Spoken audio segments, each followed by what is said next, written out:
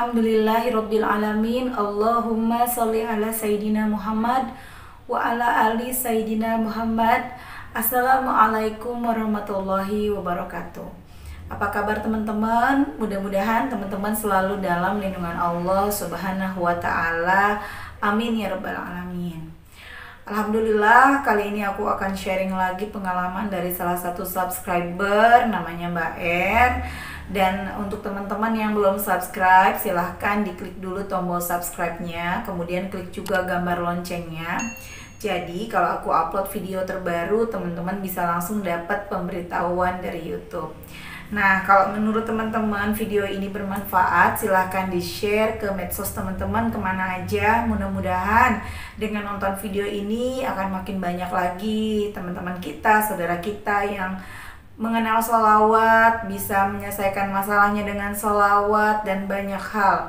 Dan mudah-mudahan juga jadi amal soleh buat kita semua. Amin ya robbal Langsung aja kita baca ya teman-teman. Assalamualaikum Mbak Melisa, saya mau testi solawatan. Adik pertama adik saya drop mbak. Karena dulu sering dibully juga ditinggal ayahnya juga dibully juga di pesantren. Sampai-sampai kemasukan jin mbak. Adik saya udah dirukiah sekali belum juga jinnya keluar mbak. Ini udah lama banget. Waktu jinnya masuk, saya dan kakak juga ibu ditarik-tarik rambutnya, dipukul sampai berdarah.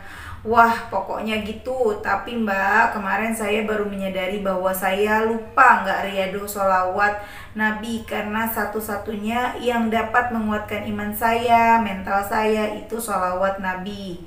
Setelah solawat, Alhamdulillah pertolongan Allah datang. Saya datang dengan temannya untuk merukiah adik saya dan adik saya ternyata mengalami depresi yang mendalam dan sudah lama semenjak ayah kami meninggal. Belum adik saya menahan beban itu sendiri juga, adik saya jadi korban bully selama tiga tahun di sekolah SMP-nya dan selama satu minggu di pondok pesantrennya. Akhirnya adik saya lemah tubuhnya dan dimasukkan oleh dua jin. Setelah itu kami harus mencari psikiater mbak untuk hari Sabtu karena hubungannya dengan syaraf tadi. Saya nelpon-nelpon pada nggak bisa sih psikiaternya karena harus buat jadwal dulu, nggak bisa ngedadak. Saya udah pasrah mbak. Alhamdulillah saya ditelepon sama ahli psikolognya Katanya psikolognya bisa ya Allah berkat sholawat mempermudah urusan kami semua saya yakin semua ujian ini bisa menguatkan kami. Oh iya Mbak, di samping itu saya juga dapat kerja part time buat nambahin uang kuliah Mbak. Jadi marketing di Umama ya Allah ya. Ini aku jabarin dulu teman-teman ya biar nanti aku nggak lupa. Biasanya aku kalau udah baca semua suka lupa. Jadi Mbak Raisa ini uh, punya adik dan adiknya tuh udah tiga tahun di SMP dibully sama teman-temannya tapi adiknya ini uh, nyimpan bebannya sendiri nggak cerita ke keluarga. Kemudian uh, ketika di pondok pesantren baru satu minggu juga dibully. Ditambah lagi adiknya ini merasa depresi berdepresi juga merasa kehilangan karena ayahnya meninggal dunia. Nah uh, memang biasanya gitu sih ya kalau kita lagi sedih lagi punya masalah suntuk banget itu tuh kalau kita nggak kuat-kuat iman itu tuh banyak yang datang kayak jin lah segala macam percaya nggak percaya sih ya tapi itu nyata ya teman-teman uh, ada yang ikut lah gitu. Bahkan aku di sini punya temen uh, yang um, akibat beliau uh, di, di, apa namanya punya masalah sama rumah tangganya sedih terpuruk segala macam beliau diikutin sama uh, ada pengikutnya ada jinnya gitu teman-teman dan uh, sampai akhirnya beliau jadi kayak orang indigo gitu. Jadi dia tahu gitu kayak misalnya di sini ada hantu atau di sini jadi agak-agak seperti itu. Dan itu karena diikutin sama uh, jin-jin para jin itu gitu teman-teman ya. Percaya nggak percaya tapi uh, itu nyata. Dan benar ya kan uh, segala hal yang gaib juga kan wajib kita percaya ya. Lanjut teman-teman. Nah uh, dan dan alhamdulillah si Mbak R ini merasa uh, bersyukur karena tadinya mau hubungin psikiater tuh susah banget jadi harus ada janji dulu. Nah tapi alhamdulillah setelah beliau bersolawat uh, ada psikiaternya, ada psikolog yang mau bantuin. Dan selain itu Mbak R juga dapat kerja part time jadi marketing di Umama, masya Allah ya, alhamdulillah. Kita lanjut cerita yang kedua ke maksudnya testimoni dari Mbak R yang kedua. Saya juga di Rukiah Mbak. Selama ini saya belajar tenaga dalam. Saat itu semua badan saya itu ketika dipijit dan dipegang kerasa kayak ada semacam susuk yang keluar.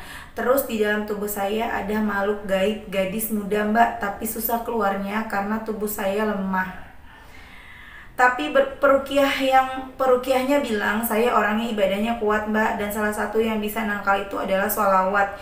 Ya Allah berkat sholawat semua masalah jadi nikmat Tubuh saya saat ini masih belum stabil, tapi saya yakin Allah akan melindungi, menyembuhkan dan Allah akan memberikan nikmat yang tiada hentinya bagi kami. Pokoknya buat teman-teman, sholawat terus, jangan ditinggalin sholawat juga yang rajin. Jangan ada iri, dengki, dendam, curiga, takut, dan lain-lain, karena itu datangnya dari setan. Apalagi sikap atau perkataan menyinggung orang. Semoga adik saya, keluarga saya sembuh Amin, amin ya robbal alamin. Kemudian um, Mbak R ini ngechat aku lagi. Mbak Mel tadi uh, aku baru baca nih, teman-teman ini dari 15 Agustus. Mohon maaf ya Mbak R. Mbak Mel tadi saya nangis Mbak soalnya dokter psikiater yang prakteknya tutup 17-an. Nah, belum lagi saya mikirin biaya dan obatnya yang mahal. Tapi saya dapat dokter yang katanya biayanya lihat kondisi keuangan keluarga karena ay ayahnya sudah meninggal. Saya nangis Mbak Mel terharu, saya sholawatan pasrah udah gitu langsung kobol. Saya juga lagi khawatir obatnya adik saya takut nyarinya susah sama mahal Mbak. Mohon doanya supaya adik saya bisa tidur. Dari tadi adik saya melantunkan hafalan Qur'annya Mbak. Saya nangis Mbak. Saya berdoa sama Allah supaya adik saya nanti jadi hafiz Qur'an. Saya terharu gak kuat. Allah masih sayang sama saya Mbak. Saya juga nangis karena terharu ibu saya sabar banget ngurus adik saya. Semoga adik saya sehat seperti sedia kala. Terus bisa jadi ulama. Amin. Adik saya depresi mbak kehilangan ayahnya. Saya mohon doanya supaya saya dan keluarga diberikan kekuatan. Amin. Mohon doanya ya teman-teman Supaya Mbak R diberikan kekuatan dari Allah Ketabahan dan bukan cuma Mbak R Tapi juga ibunya, adiknya.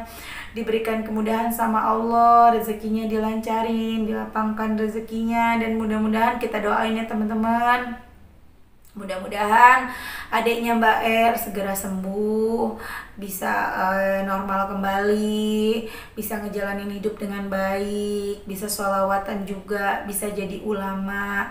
Amin. Dan ibunya Mbak R mudah-mudahan selalu diberi ketabahan beri kesehatan, umur yang panjang, bisa lihat anak-anaknya sukses dan bahagia. Amin ya robbal alamin. Nah itu tadi teman-teman testimoninya Mbak Er ya, masya Allah banget. Kita semua tuh diuji ya teman-teman dan ujian kita tuh beda-beda gitu ya. Ada yang ujiannya berupa rumah tangga, ada yang ujiannya berupa ekonomi, ada yang ujiannya uh, anaknya, macam-macam ya.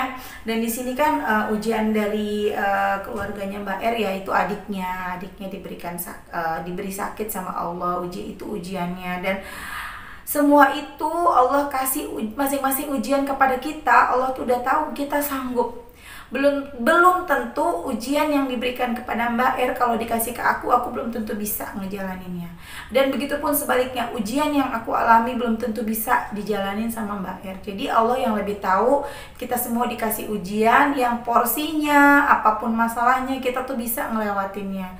Ya jadi kita harus yakin dulu ketika kita mendapatkan masalah atau mendapatkan ujian dari Allah kita harus yakin dulu. Yang pertama yakin kalau semua itu kita bisa ngelewatin ketika kita sabar kita ngejalaninnya dengan benar-benar bersyukur sama Allah dengan apa yang terjadi kita tetap ada rasa syukur sama Allah. Insya Allah balasannya luar biasa dari Allah.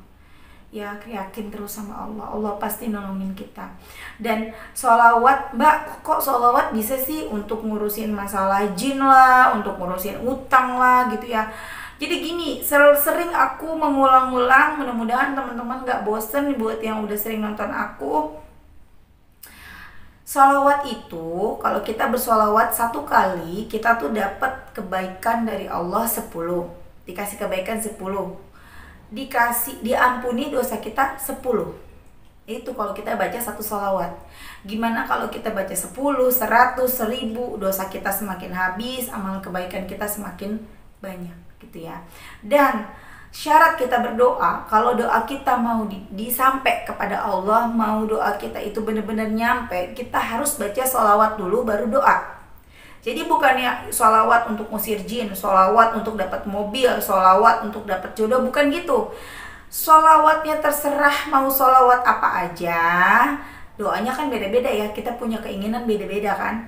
Nah, doa itu akan naik, cepet naik, cepet sam langsung sampai kepada Allah dan cepat dikabulkan sama Allah gitu loh teman-teman. Jadi yang selalu aku bilang, sholawat adalah pengantar doa. Kalau mau doanya cepat dikabulin sama Allah, awalilah dengan sholawat jadi sebelum kita berdoa sholawat dulu yang banyak supaya apa dosa kita terhapus dulu amal kita banyak nah kalau kita udah dosanya terhapus apalagi sampai dosanya benar-benar sedikit banget itu doanya dikabulin banget sama Allah gitu teman-teman. Dan untuk teman-teman yang saat ini uh, doanya belum dikabulkan sabar.